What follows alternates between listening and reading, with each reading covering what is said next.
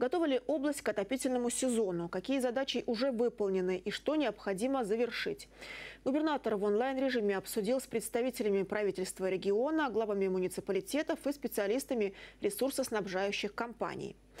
Полностью выполнены работы на объектах водоснабжения и водоотведения. Остальные сферы в процессе. В целом же теплоэнергетический комплекс и жилищно-коммунальное хозяйство подготовлены к зиме на 96%.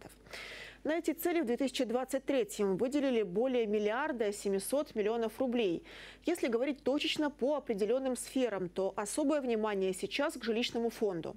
Так, к началу октября планируют завершить ремонт систем теплоснабжения и установку индивидуальных и тепловых пунктов в девяти многоэтажках и трех общежитиях Белгорода.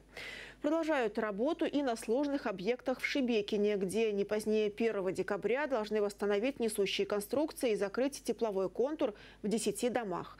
Обсудили на онлайн-совещании вопросы, связанные с запуском определенных котельных. Первое – это котельная на территории Щебекинского городского округа.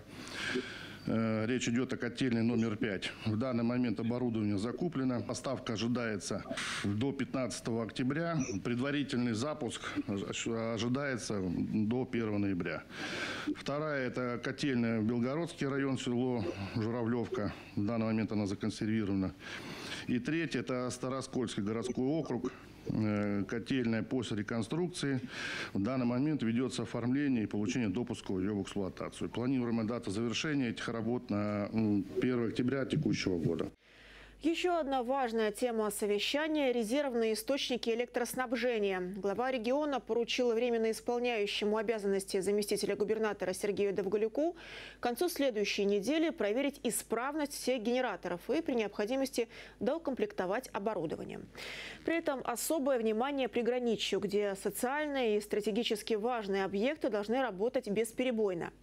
Обсудили на встрече и подготовку спецтехники к уборке улиц и дорог в зимнюю непогоду. Вячеслав Гладков подчеркнул, во время рабочих поездок по территориям он лично проверит, как выстроена эта работа.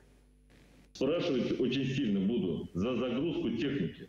Напомню, более двух миллиардов потрачено.